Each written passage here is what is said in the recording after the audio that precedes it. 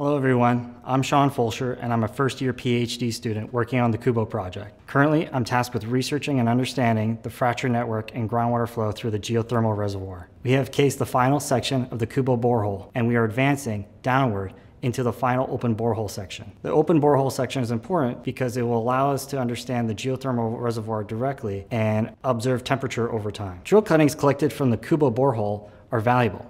They provide mineralogy, bulk composition, and texture of the rocks below the surface. The CUBO borehole itself provides 2D information of the geothermal reservoir intended to serve the Cornell campus. By analyzing the drill cuttings from the CUBO project, as well as wells in the region, we can understand the extent and variability of the geothermal reservoir.